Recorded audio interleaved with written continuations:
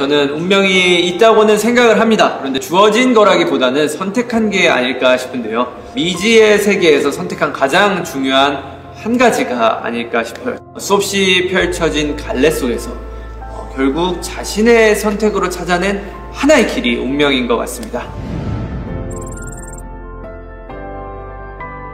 우리 일곱 명에게는 각자의 인생이 있고 각자의 인생에서 소중한 것들이 있죠.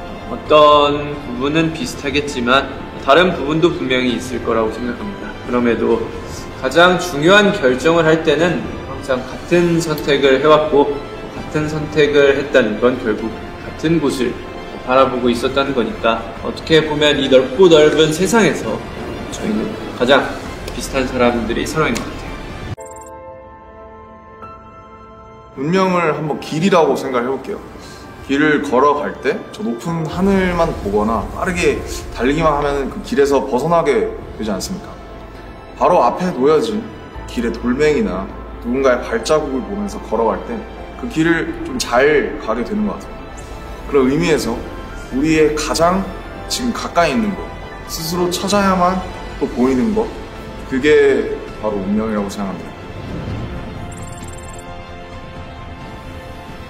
지금까지 시간을 돌아보면 참 웃었던 일도 되게 많았고 힘든 순간도 많았습니다.